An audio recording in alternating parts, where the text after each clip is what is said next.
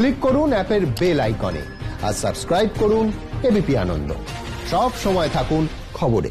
ফের দক্ষিণ চব্বিশ পরগনার বাসন্তীতে তৃণমূলের গোষ্ঠীদ্বন্দ্ব। তৃণমূল কর্মীকে মারধরের অভিযোগ যুব তৃণমূলের বিরুদ্ধে।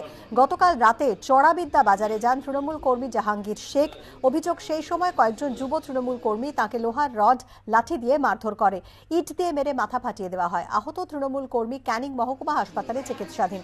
বাসন্তী থানায় অভিযোগ দায়ের হয়েছে যদিও রাজনৈতিক যোগ অস্বীকার করে যুব তৃণমূল নেতৃত্বের দাবি, মত্ত অবস্থায় বন্ধুদের সঙ্গে বিবাদে জড়িয়ে পড়ায় ওই তৃণমূল কর্মীকে মারধর করা হয়।